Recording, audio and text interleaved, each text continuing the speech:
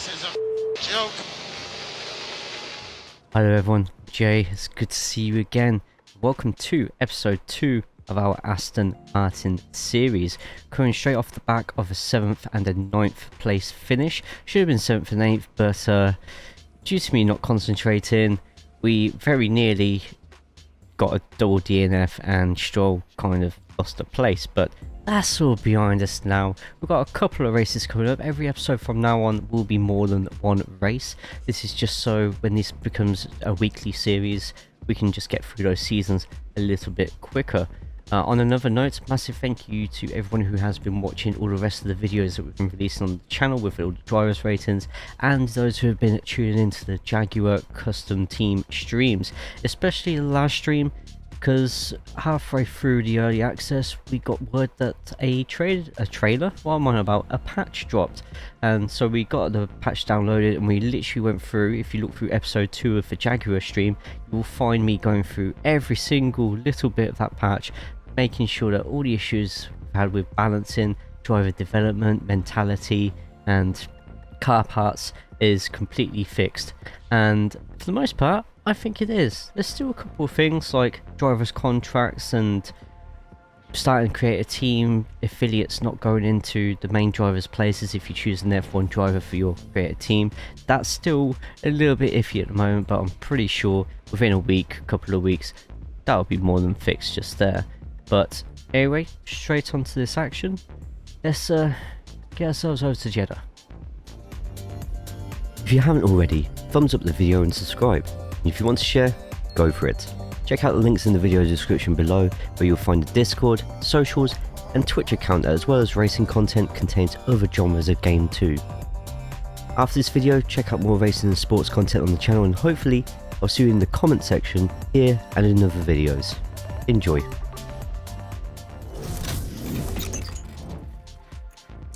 We're going to start today with our pit crew training, set it to cumulative because then we can see with the race weekend how tired the pit crews are going to be. We cannot afford any more mistakes like in Bahrain.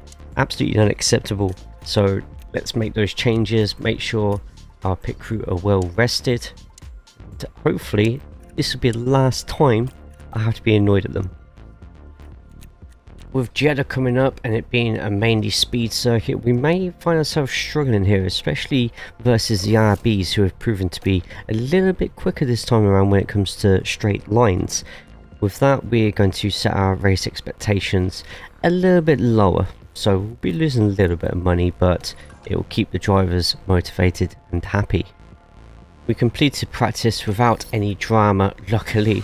Still the case in F1 Manager 24 where there's quite a lot of other teams affiliates being used in free practice 1. This early in the season, it shouldn't really be happening as much as it is, but doesn't matter, it doesn't really affect my performance for now. Q1 was going as well as you would expect, however, at some point we got a red flag towards the end of the first session and little did I know that this was going to be a sign of things to come for the whole race weekend. As there was only two minutes left in the session, qualifying was cancelled and the results that were then stood. Q2 gave us a little bit of a shock though, Alonso falling short of the dotted red line, which he wasn't too far over it, so I think we can easily get Alonso back into the top 10 with some decent tactics and uh, some good old willpower. Isn't that right, Fernando?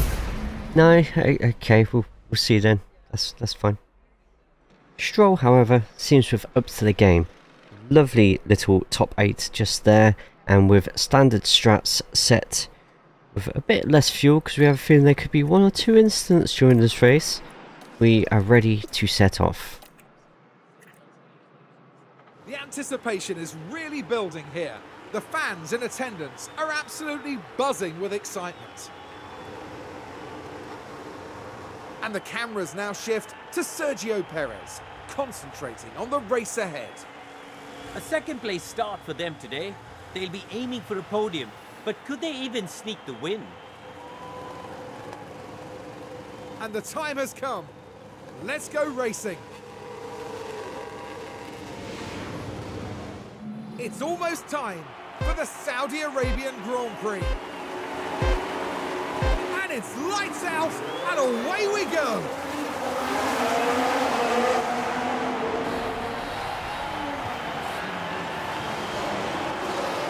A start without an incident. Nice.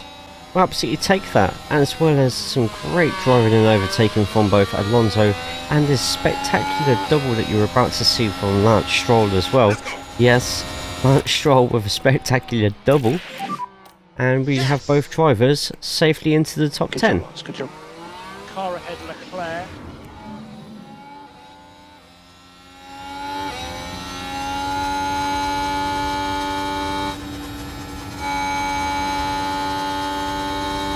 Oh, see that, man? Yes, Lance. Yes, I did.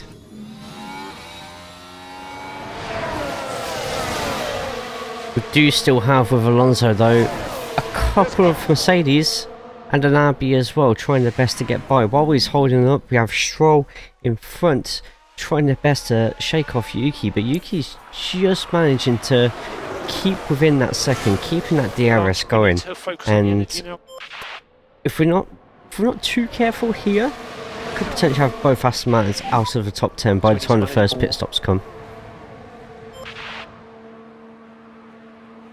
On lap 7 we actually make the call to swap over Lance and Alonso. Alonso I feel would be better suited with his experience trying to get past Yuki. But unfortunately a safety car ruins that before we can put the plan totally in motion. Sargeant ruins everything. After this, a massive rush into the pits with seemingly every single car going in to refresh their current tyres or change their strategies. We went with scrubbed softs for Alonso and fresh softs for Stroll. And I just had a feeling at this point that this race was going to throw us over plenty more surprises. We've got a pair of relatively clean pit stops, which is good for a double stack and much better than what Bahrain showed us, but after a quick shuffle of the leaderboard, we found ourselves actually behind Perez, Your P8. but Stroll Next falling Perez. quite a few more places, He's one second down in back. 12th. Hamilton is a car behind. On the restart though, Alonso absolutely blasting it, dispatching Perez before shortly doing the same to Tsunoda. The only challenge for Alonso now is, can Let's he go, push enough to get away and break that draft? On the softer compound, bloody well hope so. Or, or not, as the case may be. But little did I know that there was a big surprise waiting for me at the end of this straight. Enjoy, and don't worry, I did the crying for you. Perez right behind. We have low battery. Copy. Drop back a bit. Yes. Red flag, slow down. Oh, what what happened? Did did Alonso run Yuki off track? Why has he gone to Stroll? No. Oh, you are joking me. Joke. You're telling me. You're telling me.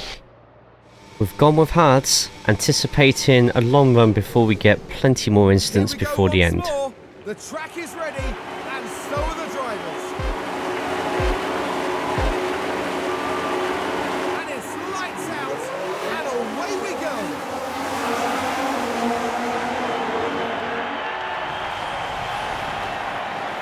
And an amazing sequence coming up where somehow both the RBs felt like they uh, had to put three wide for Alonso.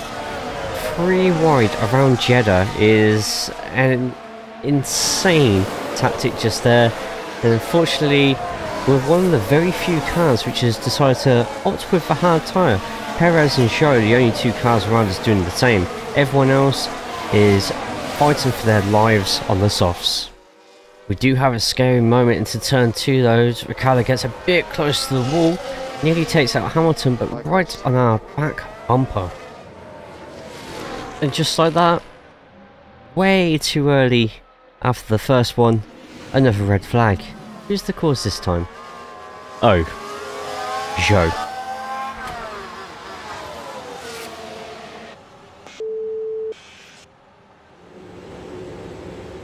Twenty-one laps done. I think we're going to switch out of those hard tyres and we're going to do a double set of mediums here. If we'd used mediums earlier we would have set the hard until the end of the race, but mediums, slightly quicker tyre, and we only need to make one more pit stop. Same as most of the drivers on this race. Unfortunately though, it looks like we've got Yuki Tsunoda to battle with yet again. It doesn't take too long though, luckily. And by lap 28, we're finally, finally starting to get away from Yuki. We can start working on either trying to catch up with top 6 or just keeping a 7th place and keeping away from 8th and beyond behind.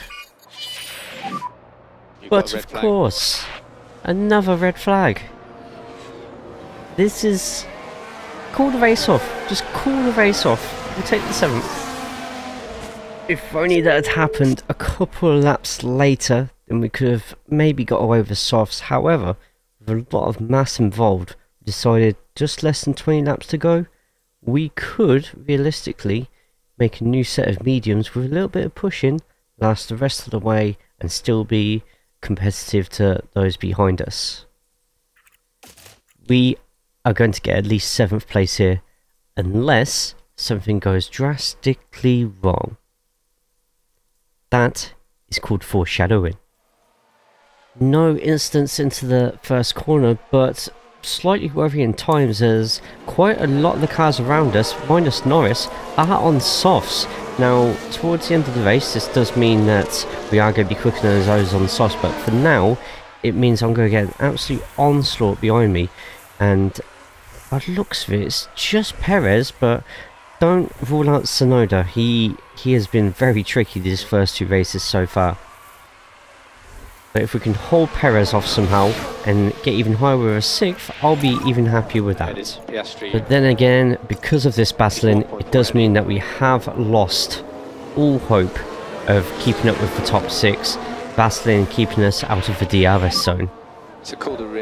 And in the end, it just turns into a mugging. Perez has far too much pace for us, and we're left floundering about in seventh, hoping that Albon and Tsunoda behind us don't suddenly work with each other and try and catch up to Alonso and potentially take some championship points from us.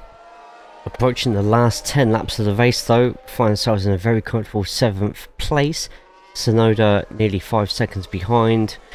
Norris and everybody else uh, a a little way in front, but if anything happens to those top 6 now, then we should be close enough to take advantage should they have to dash into the pits.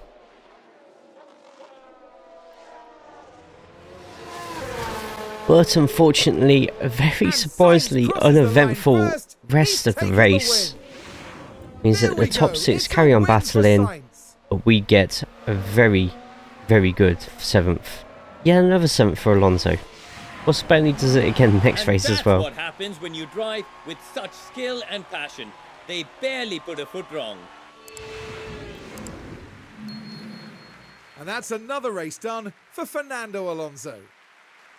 Seventh place at the end of that one, and some points for the team. Seventh place for Jeddah it is then, and still fourth in the constructors. Let's uh, crack on from this race weekend and get ourselves ready for Australia. On the upgrade front, we are ready with a couple of bits and pieces for Suzuka Japan. Just got to get through Australia first, and of course we've got to repair Lance Stroll's car after, you know, it's a stationary object. After the last race having a just a little bit of an understatement when I say a couple of crashes in it. We're hopeful for a double points finish this time in Australia, but Melbourne has historically in F1 Manager games been a bit of a crash fest in its own right, same with Canada as well. So let's hope we can avoid all that, put in some decent laps for qualifying and stay towards the top. Q2 looked like it was nailed on that we were going to get a surprise elimination here, but luckily Stroll, right at the last second, hit himself through, actually going quicker than Fernando at the same time, and we make it through to Q3. It started to look like we were going to get a second round lockout. Unfortunately, the Red Bulls had other ideas and we were very, very quickly humbled. We're going to go back to fuel saving because I do feel there's going to be a couple of incidents in the races and we can truly benefit from it. We're going to be pushing Stroll most of the race and Alonso's just going to chill. Hopefully the one-stop strategy for this going on means that we can do a very late strategy call if needed with incidents. After the dust has settled, I'm hoping, hoping for at least a double points finish. Let's see what uh, everybody else in the grid has to say about that one. Six laps in, and although the top two have decided to go off and do their own thing, everyone up to ninth seems to be together in a nice clump. So this is good for us because we get to stay with the top, but also at the same time, Tsunoda is the driver which is also a part of this convoy at the moment. We cannot afford for anybody from RB getting any more points than us at this point in time.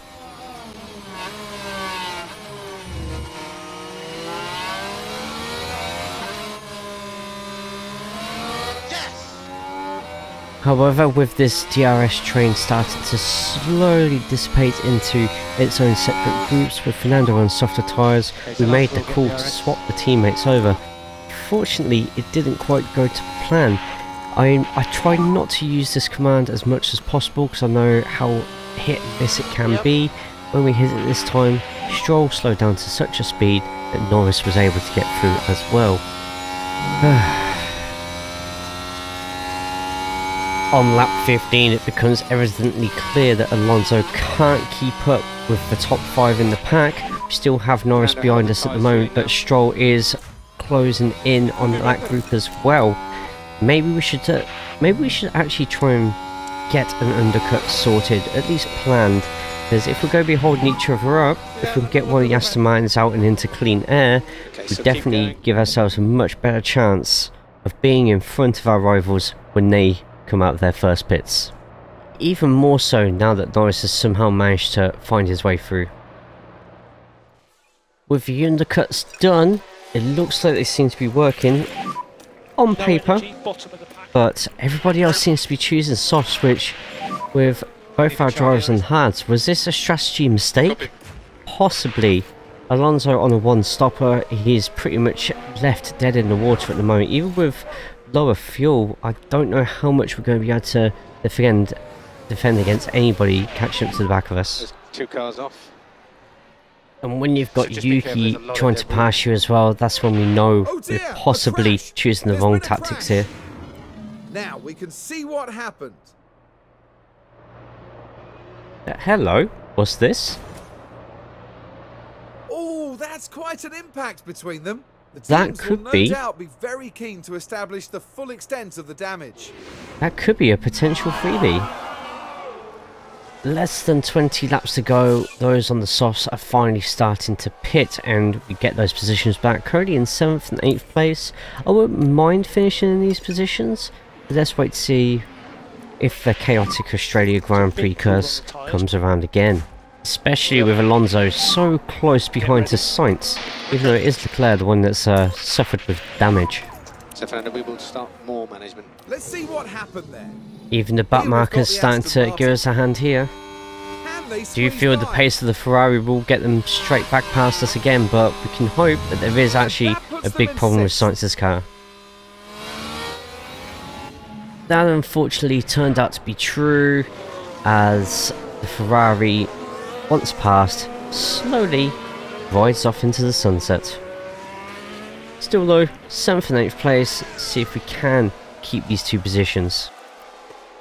Tsunoda going for a late charge out as we approach the end of the race, as Hamilton has a spin out, which ironically happened as well in my arrow save as well. In fact, I think it may have been the same corner. At least this time, he didn't bounce back into the track. Yuki did eventually get past both Stroll and Alonso, however, the medium tyres have started to fade.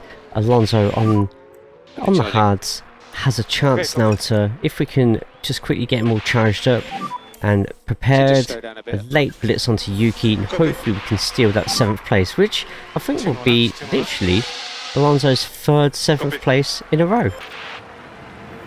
With the last lap coming and two DRS zones in a row, as soon as you hit that front stretch, now is the time to hit the buttons and time to let Alonso do his thing. Sorry, Tsunoda, but today's just not going to be your day.